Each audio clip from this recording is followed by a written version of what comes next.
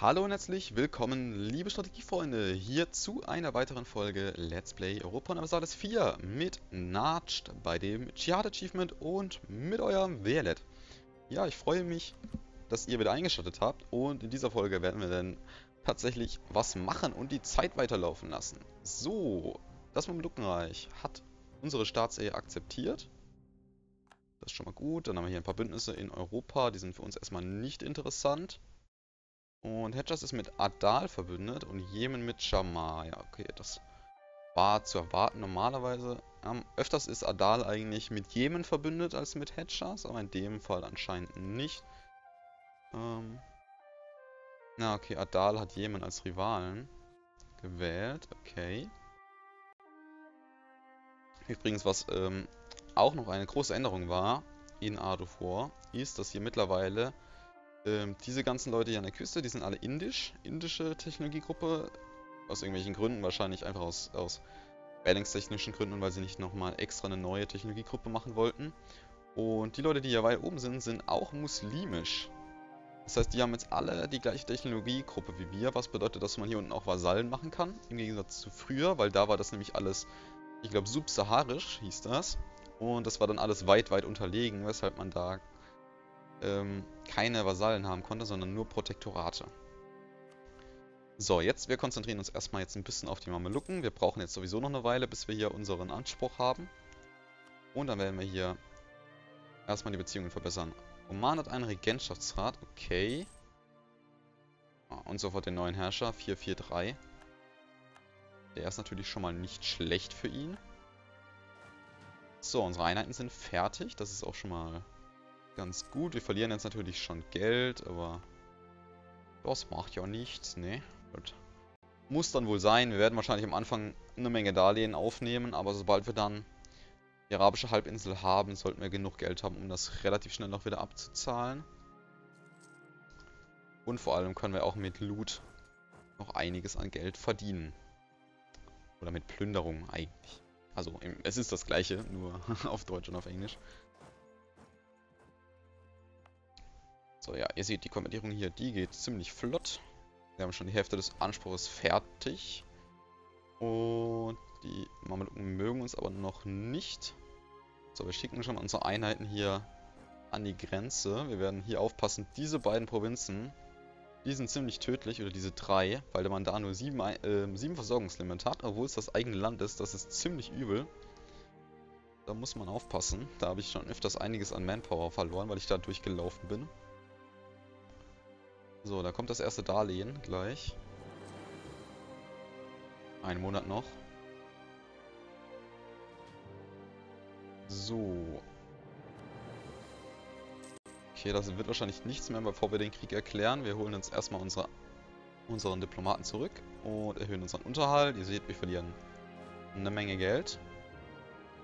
Dann nehmen wir hier unseren Herrscher als General.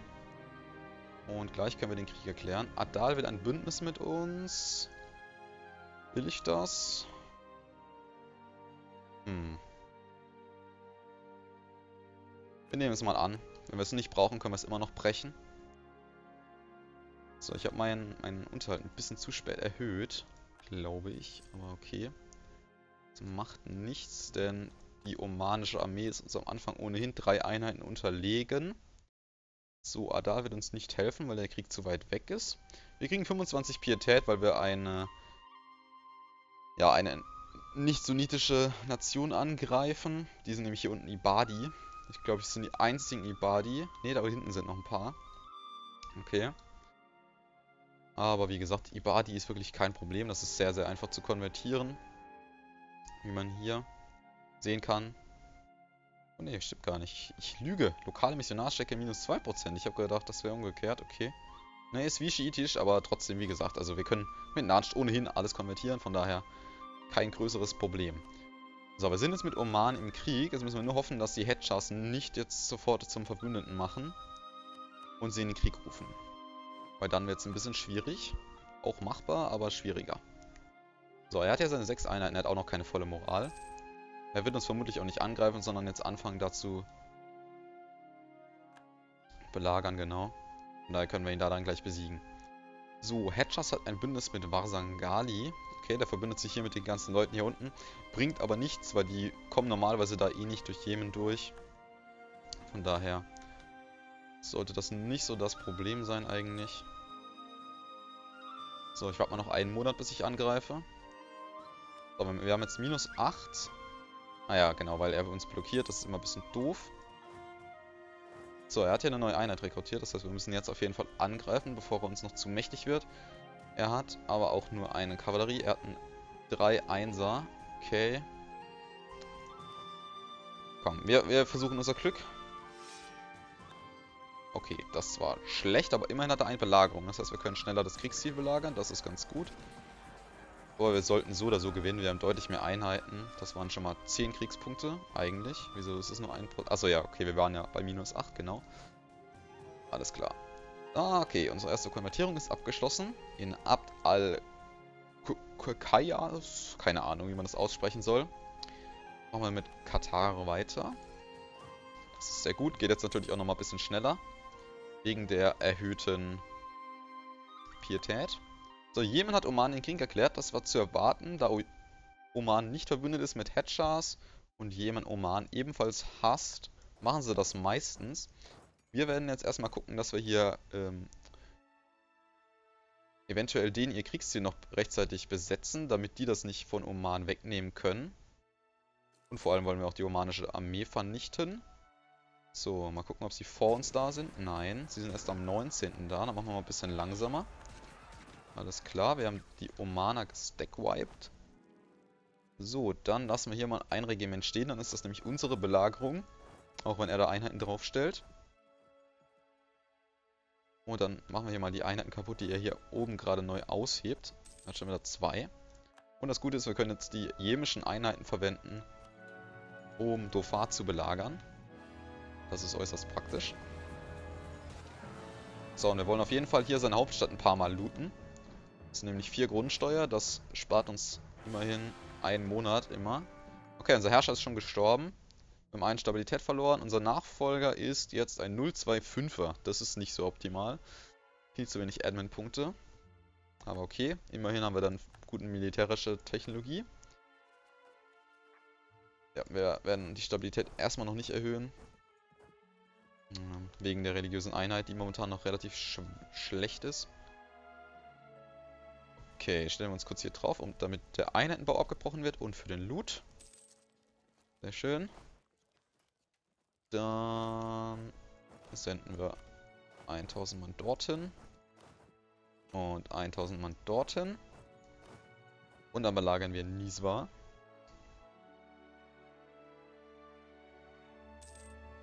So, da haben wir wieder drei Dukaten gekriegt. So, wir wollen erstmal nur, dass er hier keine neuen Einheiten baut. Äh, schicken wir mir hier die 400 Mann in unser Heimatterritorium, damit wir nochmal unseren Belagerungsgeneral mitnehmen können, den wir gewürfelt haben. So, dann schicken wir noch 1000 zu seiner Hauptstadt, damit er auch da keine neuen Einheiten bauen kann. So, hier Belagerungsgeneral. Alles klar, und dann belagern wir erstmal Niswa. Ich glaube nicht, dass ähm, Hedgers da jetzt noch reinkommen wird. Wir brauchen nur noch ein bisschen Punkte. Oh, was haben wir hier? Unterstützung für Dissidenten im Ausland. Eine Reihe von Dissidenten aus anderen Staaten sind an uns herangetreten. Diese Dissidenten behaupten, viele Unterstützer hinter sich zu haben, die bloß etwas Geld brauchen. Wahrscheinlich lügen sie. Trotzdem haben ihre Behauptungen viele einflussreiche Menschen an unseren Hof angerührt. Die Unterstützung dieser Dissidenten wird vermutlich zu nichts führen, außer der Verärgerung des anderen Landes. Aber auf der anderen Seite würde Nicht-Unterstützung einen schlechten Eindruck machen. Ja, Geld können wir nicht verlieren. Wir haben auch so kein Geld. Äh, von daher verlieren wir 10 Prestige. So, alles klar. Die Frage ist jetzt... Ne, wir lassen, wir lassen Wooster erstmal unbelagert. Und wir haben einen Diplomaten, der jetzt gerade nichts macht. Wir werden uns schon mal hier einen Anspruch auf Jemen holen. Und wir werden unseren militärischen Unterhalt ein bisschen senken. Damit wir nicht ganz so viel Geld verlieren. Warum zeigt er uns hier eigentlich an, dass wir 0,7 im Monat machen? Das ist doch gelogen.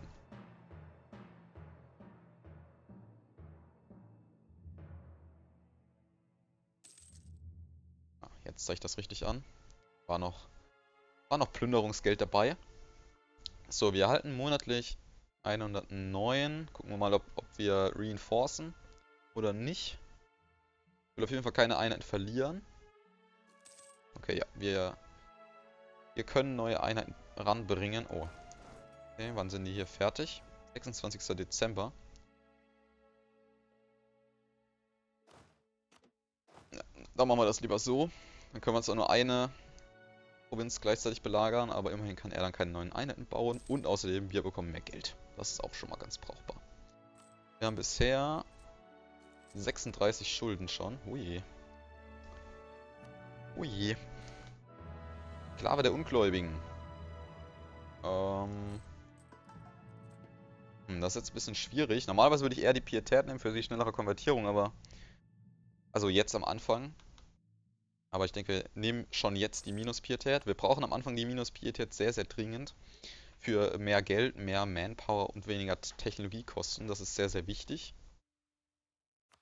So ja, Oman scheint kein Bündnis mit Jemen mehr hinzukriegen.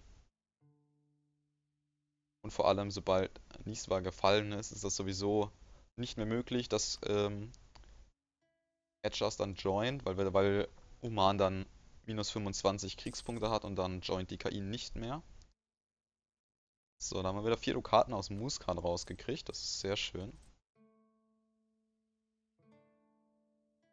Wir haben auch schon 0,6 Inflation. So, ich bin gerade überlegen, warum hier der Sound schon wieder so leise ist. Es ist leider ein bisschen doof, dass die verschiedenen Musiken, verschiedene Lieder von Paradox so ungleich laut sind. Aber was soll man machen? So, wollen wir ein Prestige pro Monat für 20 Jahre, für zwei Dukaten? Ich denke schon. Auch wenn wir gerade nicht so viel Geld haben, aber das ist schon ziemlich gut. So, da ist das Kriegsziel gefallen. Dann senden wir... So, das, das Problem ist jetzt halt... Der Nachteil daran, Niswa als, als Kriegsziel zu nehmen, fällt mir gerade auf, ist, dass man dann die beiden hier nicht mehr looten kann. Das ist ein bisschen schade. Wo senden wir ihn dorthin? Ihn dorthin?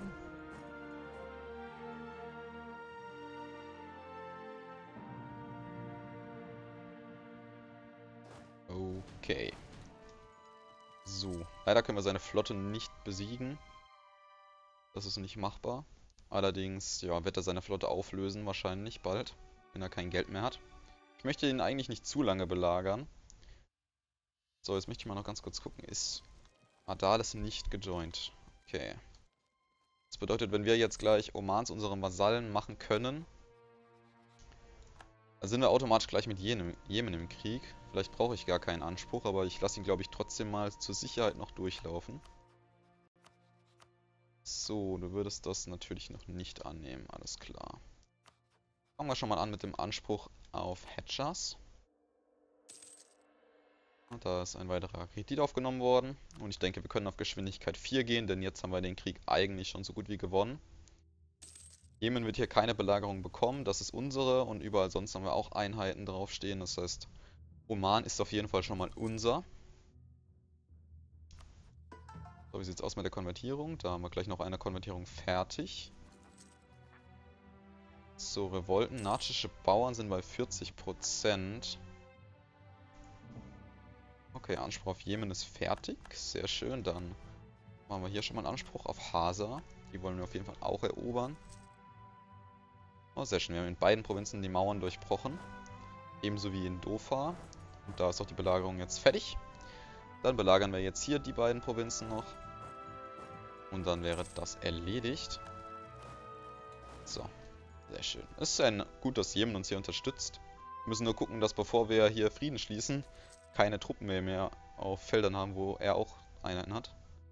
Sonst werden die wahrscheinlich gekillt. Ja. Der Hauptgrund, warum wir so viel Geld verlieren, ist einfach, dass wir hier ähm, sehr stark über dem Truppenlimit sind. Dafür bezahlen wir genauso viel Geld wie, wie für unsere Truppen an sich. Okay. Schicken wir mal den General nach da hinten.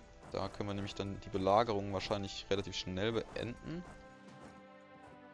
Okay, jetzt hat Hedgers ein Bündnis mit Oman geschlossen, aber die dürften da eigentlich nicht mehr reingehen, genau. Weil die schon bei minus 70 sind. Alles klar, eigentlich können wir jetzt auch schon gleich Frieden schließen, sobald unser einer Diplomat wieder fertig ist hier mit Anspruch fingieren. Katar haben wir konvertiert, sehr schön. Die Ungläubigen werden hier aus unseren Landen vertrieben. Oder naja, gut, sie werden nicht unbedingt vertrieben, aber sie werden auf jeden Fall zu unserem Glauben konvertiert und das ist ja schon mal wichtig.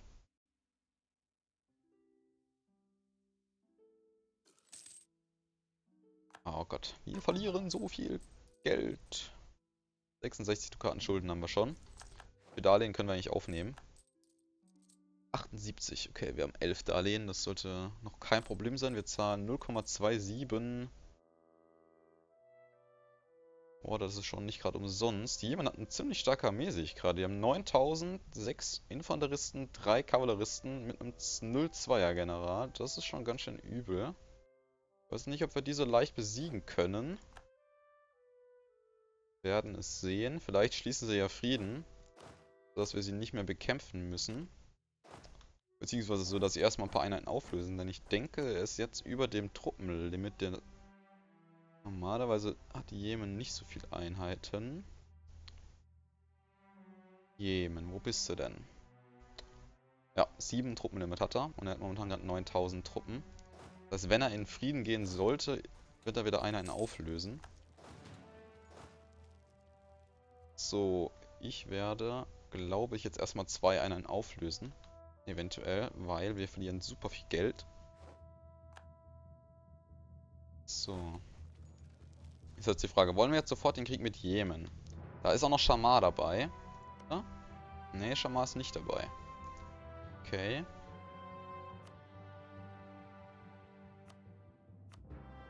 So, wir wollen auf jeden Fall nicht, dass Oman seine Flotte auflöst. So, wie viel Geld hast du denn? Nicht besonders viel. Das heißt, du wirst nicht eine, keine Einheiten bauen.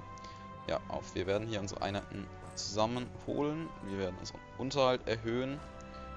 Und hoffen dann mal, dass wir, dass wir es schaffen, hier jemanden zu besiegen. Das Problem ist, dass er ähm, zwei Kavalleristen noch hat und wir haben nur zwei ähm, Infanteristen.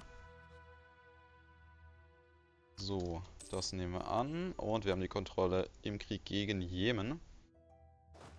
So.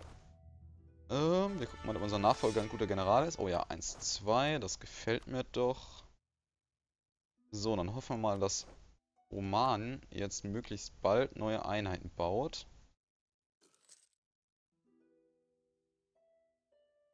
Und wir stellen das schon mal hier hin. Ich hoffe mal, wir können sie besiegen. Kann sein, dass wir die erste Schlacht verlieren. So, wir haben jetzt auf jeden Fall Flottenhoheit. Oman hat hier eine Menge Schiffe. So, ähm, was machen wir hier mit dem Bauernzorn? Das ist hier die Frage.